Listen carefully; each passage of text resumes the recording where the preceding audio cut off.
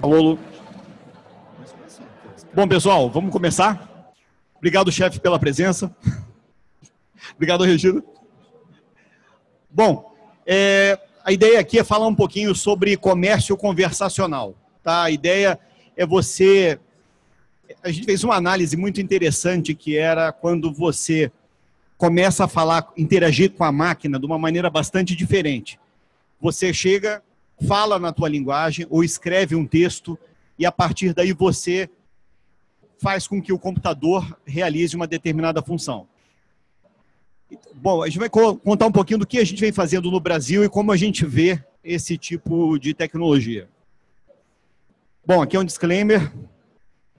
Bom, tudo começou quando nós fizemos uma pesquisa é, com alguns parceiros, nesse caso especificamente com o Bradesco, a gente estava tentando olhar para o público e-commerce e tentando identificar algumas pessoas, quais eram os grupos de pessoas com características similares que compram no e-commerce, para que a gente desenvolva é, campanhas de marketing, campanhas promocionais mais adequadas, mais, mais focadas a esse grupo. Eis que nós identificamos que existem muitas pessoas usando plataformas de mensageria por exemplo, o WhatsApp, para realizar compra e venda de produto. Bom, falou comprar e vender produto, chama a atenção de uma empresa como, como, como a Visa, tá? Então a ideia foi, vamos olhar para esse público e vamos identificar o que, que eles, o que tipo de plataforma de característica a gente conseguiria é, oferecer para facilitar esse tipo de, de comércio. Bom, a gente está entrando agora numa, numa nova era, que é a era das máquinas que falam ou seja, e se comunicam com seres humanos a partir da linguagem humana, quer seja através de texto, o que a gente chama de chatbot, quer seja através de voz, o que a gente chama de essas, esses assistentes virtuais, como Alexa, Siri, etc. Isso só é possível porque a gente tem disponível várias tecnologias, e aí, em função do poder de processamento, essas tecnologias ficaram disponíveis para aplicações mais simples, que são uma grande capacidade de processamento para execução de algoritmos complexos. Você tem, ao mesmo tempo que você tem uma, uma grande capacidade de processamento, para processamento de algoritmos, você também pode ter uma segurança cada vez maior. A partir daí, você consegue oferecer tecnologias que antes eram disponíveis apenas em laboratório, como, por exemplo, linguagem de máquina, aprendizado de máquina, é, eh, etc. E aí, acompanhando, isso a gente observou no Brasil, e acompanhando é, o que vem acontecendo no mercado internacional e suportado por uma grande, é, um grande parceiro que olha as tendências nesse mercado, a gente identificou coincidentemente que um dos hot topics, um dos assuntos mais quentes para 2017 e para frente é justamente o que a gente chama de comércio conversacional. O que é esse comércio conversacional? Na realidade, é você utilizar texto ou voz para interagir com o computador, para fazer com que ele desempenhe funções que você normalmente tinha que programar a máquina para fazer.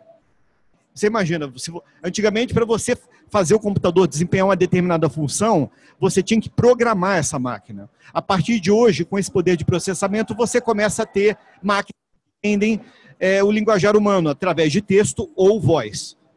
E com isso, essas plataformas começaram a oferecer tecnologias que são mais sofisticadas, como inteligência artificial e a, a, é, machine learning, que é o aprendizado de máquina. Ou seja, a máquina começa a aprender conforme você usa, de acordo com o uso. Então, toda vez que você começa a interagir com a máquina, a máquina vai identificando as necessidades que você tem e ela vai aprendendo a interagir com você de uma, de uma maneira cada vez mais eficiente. Bom, a partir daí, a gente consegue gerar muito mais engajamento. Ou seja, a partir do momento que você consegue interagir com os computadores usando a tua própria linguagem, você tem o computador meio ele deixa de ser uma máquina e começa a ser um contato seu no WhatsApp, ou ele com, começa a ser um assistente virtual que está dentro da tua casa. E você começa a interagir com ele como se fosse uma pessoa, como se fosse um amigo, como se fosse um, um assistente. E a partir daí, começaram a aparecer uma série de outras funcionalidades que esses assistentes podem fazer. Então, eles podem fazer chamadas, então você pode ter uma Alexa, você pode ter um Siri, você pode ter um Google Assistant na tua casa e começar e solicitar para ele fazer, por exemplo, olha, liga para minha mãe, por exemplo. Ele faz uma linguação, ele pode fazer uma ligação, inclusive, por vídeo. Você pode solicitar, olha, quero jogar um joguinho, ele vai coloca no teu computador um joguinho para você jogar. Você pode fazer uma série, pode chamar um táxi. Lá fora você já começa, já consegue chamar um táxi pelo WhatsApp, por exemplo, desculpa, pelo Messenger. Você já chama um Uber, por exemplo. Você come... E você começa, no, no, mais um pouco focado a nossa indústria, você começa a realizar transações financeiras dentro dessa plataforma. Tá? Então, da mesma maneira que você pergunta para o assistente, ou você escreve para o assistente perguntando qual é o, o que, qual a temperatura hoje na cidade de Nova York, você consegue escrever qual é o meu saldo no banco X. Ok? Qual é o meu limite do meu cartão é, Visa que ainda está sobrando no dia de hoje? Ele consegue interagir. Esse assistente vai até a infraestrutura do banco, resolve todas as questões de segurança e volta para você com a resposta. Tá? Obviamente, tudo isso é feito em cima de várias, vários requisitos de segurança para deixar a transação segura. Basicamente, ele usa os canais que hoje um app, uma internet banking utilizam. Tá? Hoje, então, a gente tem uma, uma maneira de interação. Quando você fala ele te responde, você tem uma interação homem-máquina. Depois a gente vai falar um pouquinho sobre como as máquinas vão interagir. Bom, quais são as oportunidades? As oportunidades são, ao invés de você desenvolver um aplicativo específico, você pode, por exemplo, capacitar uma plataforma como o Messenger para desenvolver transações de e-commerce. E essas transações você faz direto da plataforma Messenger. Olha, eu quero comprar um determinado produto. O seu assistente vai, procura, retorna para você. Olha, esse produto eu encontrei na loja X, portanto, a partir daí você consegue comprar dentro da plataforma Messenger a vantagem aqui é que eu não precisei baixar um app específico, eu não precisei ter uma solução específica daquela loja. Eu consigo, com um app Messenger instalado no meu celular, ter uma série de serviços, inclusive efetuar pagamentos. É isso que a gente vem explorando aqui no Brasil. Bom, vamos, nós vamos mostrar dois casos para vocês. Um é um caso baseado na plataforma Messenger do Facebook, onde você tem uma interação por texto, e um segundo caso é baseado numa infraestrutura Google, onde você tem uma interação por voz. Então vamos ver o que, a gente chama de chatbot, que é nada mais é do que um, um software, um assistente que roda em cima da plataforma Messenger, onde você desenvolve é, toda uma solução para que você navegue numa loja, identifique o produto que melhor tem a ver com a tua demanda, tire dúvidas, faça a compra, faça o pagamento, acompanhe o produto até chegar na tua casa, pode tirar dúvida de garantia, você pode tirar, você pode ter um manual embutido, então chega o equipamento, você tem dúvidas, você pode entrar nesse assistente que a gente chama de chatbot e ele vai te respondendo. Uma, uma grande característica interessante dessa plataforma é que você consegue conduzir o uso de passo a passo. É diferente de você ler um manual que você fica indo para lá e para cá. Ele vai te conduzindo, vai respondendo as suas perguntas até você resolver o teu problema. Ou efetuar o que você precisa. Tá? Então, aqui um exemplo de telas. Esse, esse chatbot está tá disponível. Quem tem o Messenger pode acessar a partir de agora. Ele foi desenvolvido em, em conjunto com uma loja, com um marketplace chamado shopfácil.com. Então, se vocês entrarem agora no Messenger, vocês podem entrar e começar a interagir com esse chatbot. Então, ele tem, ele passa uma série de coisas. Tem ofertas, você pode buscar um produto, você pode acompanhar pedidos, etc. O interessante é que você todas as tudo que está embutido, por exemplo, num site que você tem que ficar procurando, dentro do Messenger, você consegue perguntar para ele: olha, eu quero isso aqui. Ele vai lá e te resolve de uma maneira muito mais simples e muito mais interativa. Então, a partir daí, você tem ofertas do dia, busca, atendimento, uma série de coisas.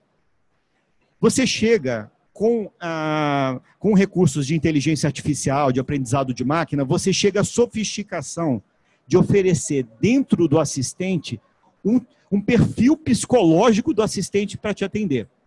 Isso é muito interessante. Então, por exemplo, quando você vai numa loja, às vezes tem um determinado perfil de atendente que você tem mais empatia, que tem mais o teu jeito, que te deixa mais à vontade, etc. Dentro desse chatbot, desse software, você consegue oferecer o mesmo tipo de tratamento diferenciado. Tá? Isso só é possível porque você tem uma mega infraestrutura por trás, com uma série de, de características que só nesse tipo de plataforma você encontra. Bom, a gente trabalhou é, com, com o nosso com parceiro, Bradesco Shopfácil, e desenvolveu o primeiro chatbot para varejo e lançou no Brasil no Black Friday. Tá? cerca de um, dois anos atrás. E foi muito interessante. Só para vocês terem uma ideia, esses dados são públicos. Hoje, esse chatbot já tem mais de um milhão de interações e já atingiu mais de 70 mil usuários únicos. Para vocês verem, isso sem uma divulgação específica, tá? O chatbot ele entrou como um outro canal de relacionamento, como você tem o call center, a internet, o app, entrou o chatbot. A ideia é você conhecer, aperfeiçoar a plataforma e aí começar a fazer campanhas específicas. Bom, aqui a gente tem um outro exemplo que é basicamente um assistente, só que em cima de uma plataforma Google que obedece a comandos por voz. A gente criou esse aqui em laboratório, um assistente chamado Vic, que é um assistente da Visa, e esse assistente, ele tem toda uma integração com o banco, o banco aqui é Agilitas, em produção. Então você consegue perguntar para essa assistente qual o saldo do meu cartão. Você consegue pedir para esse assistente bloquear e desbloquear o seu cartão. Você consegue ver o extrato. Você consegue fazer com que ele crie uma agenda para você de algum compromisso específico. Você pode associar mais de um cartão. Então, por exemplo, você essa aplicação ela é voltada para você agregar a, a, dispositivos como o Alexa, por exemplo, o Google Home que você tem em casa, a capacidade de compra, de pagamento.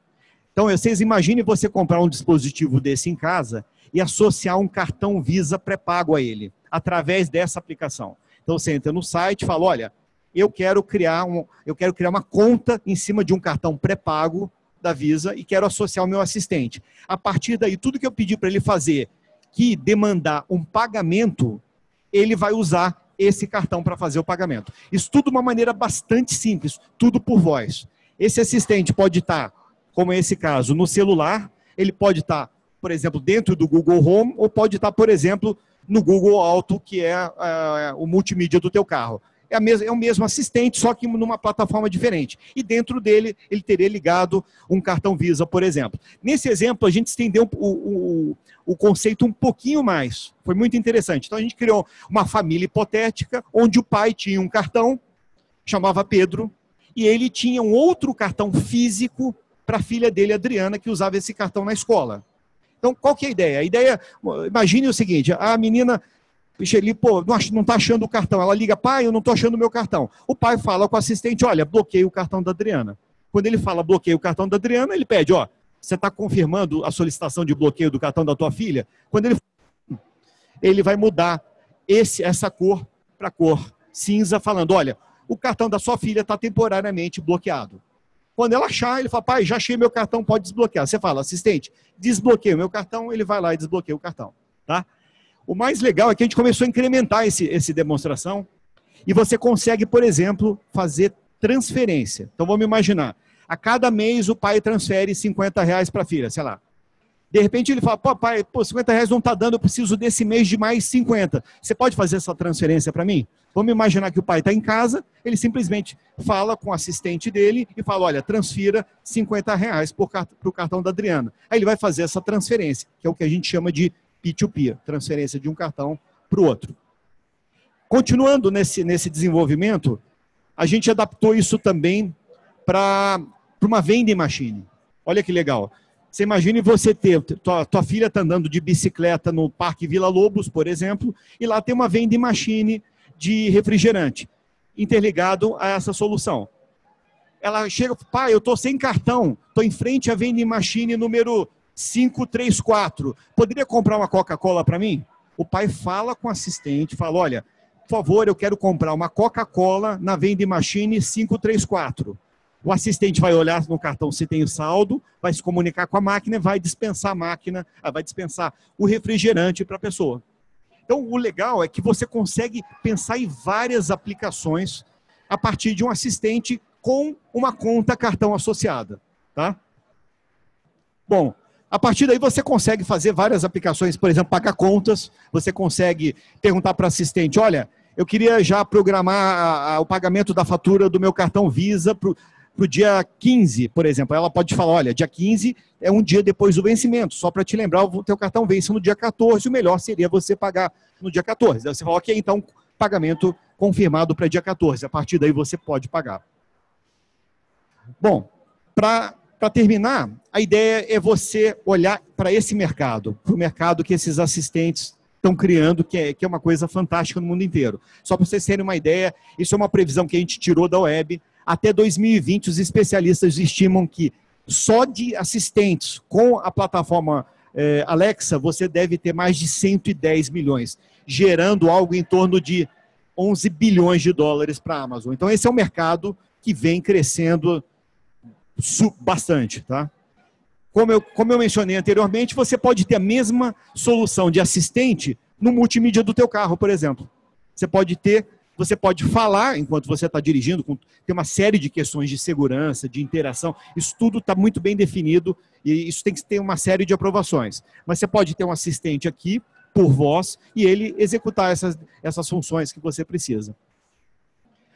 Bom, para terminar, a gente vem fazendo uma, um, um teste muito interessante, isso já está funcionando, é você fazer um chatbot conversar com outro chatbot.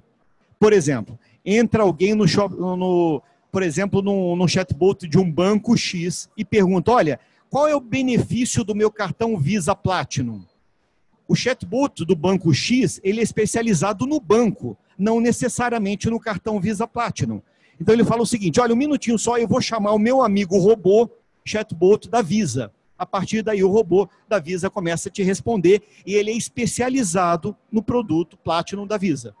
Então, o mais legal é que você começa a ter várias máquinas interconectadas no sentido de oferecer o melhor serviço para você. Bom, um exemplo final de serviço para terminar é você chegar e contar com esse assistente para de determinar tarefas mais complexas.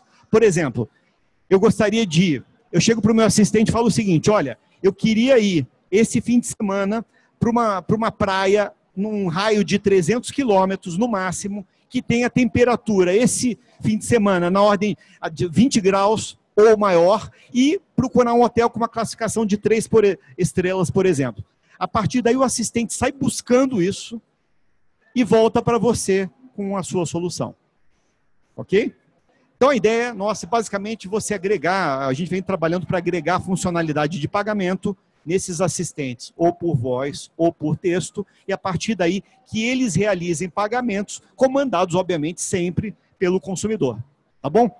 Pessoal, por hoje é isso aí, e sem dúvida tem uma coisa importante para o assistente, lembrar dele pagar com, com um cartão Visa, né? Ok? Obrigado aí. Estou à disposição para qualquer pergunta aí.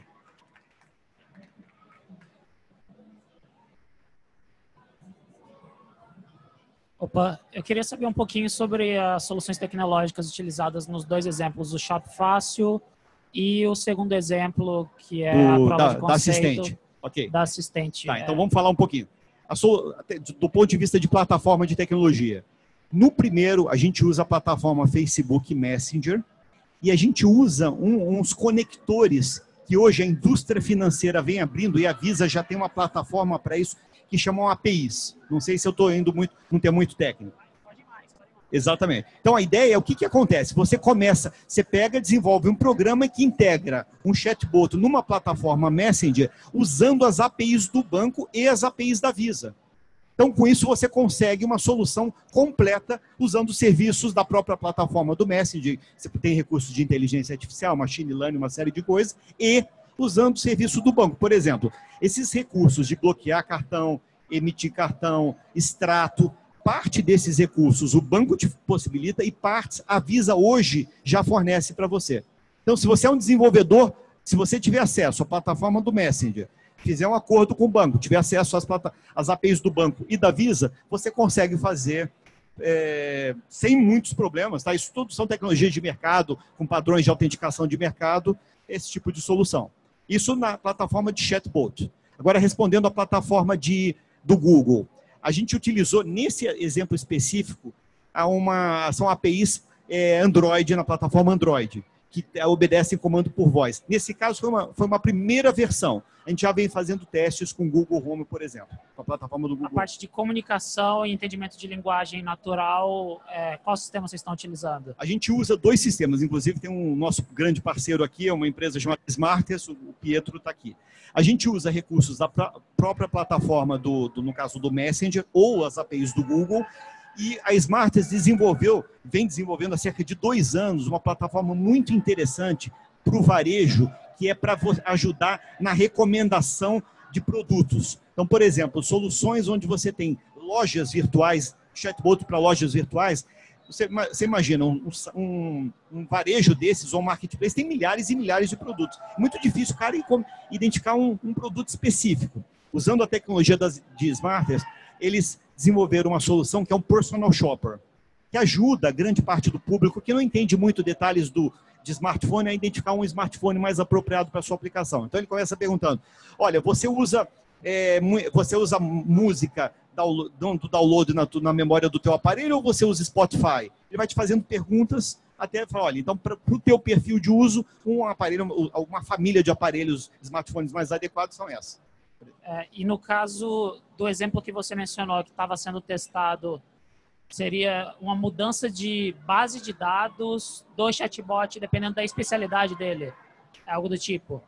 É, por exemplo? É, o exemplo que você falou do Visa Platinum, é, tá. no caso do banco ou alguma coisa assim. Você faria transição da base de dados? Isso. Não, então, excelente pergunta. Hoje em dia, o que, que acontece? Quando você desenvolve uma app ou você vai no internet banking e o cara quer saber alguma coisa do, por exemplo, de um produto da Visa, o próprio banco tem essa base de dados na plataforma dele, ok? Qual que é o desafio? O desafio é ele manter essa, essa plataforma atualizada. Obviamente, a Visa tem toda uma comunicação, fala, olha, atualiza os benefícios do cartão tal. Ele tem processos internos para que isso ocorra.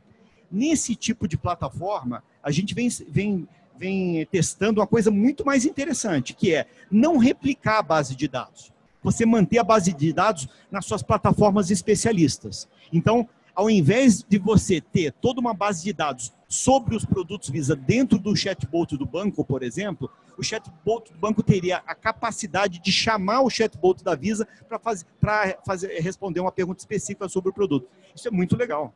Isso é muito legal. Tá? Pô, ótima pergunta. Tem mais alguma aí, pessoal? Pietro? Valeu, pessoal. Obrigado, hein?